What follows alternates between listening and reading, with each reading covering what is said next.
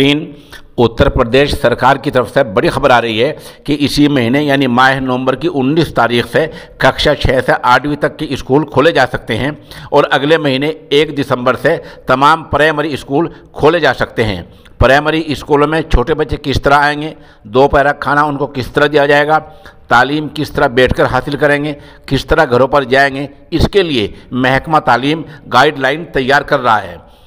और इसी तरह फिर बता दें कि इस महीने की माह नवंबर की 19 तारीख से दर्जा छः से आठवीं तक के स्कूल खोले जा सकते हैं और अगले महीने एक दिसंबर से प्राइमरी के तमाम स्कूल खोले जा सकते हैं। ऐसा सरकार की तरफ़ से आई एक खबर में कहा गया है। ज़ाहिर सी बात है, जब प्राइमरी स्कूल खुल जाएँगे और कक्षा यानी दर्जा छः से आठवीं तक के स्कूल खोल दिए जाएँगे तो फिर छोटे बच्चों को मदरसों में, मस्जिदों में तालीम के लिए बुलाना भी आसान हो जाएगा।